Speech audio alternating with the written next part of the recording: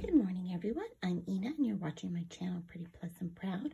I just have a quick outfit of the day. So I'm just wearing some camouflage um, culottes. These are from Torrid. They are size zero, super high-waisted, very comfy, and they do have pockets. My top is from Old Navy. It's just extra, extra large black t-shirt and they're just wearing some matte black hoops uh, that I believe are from Torrid.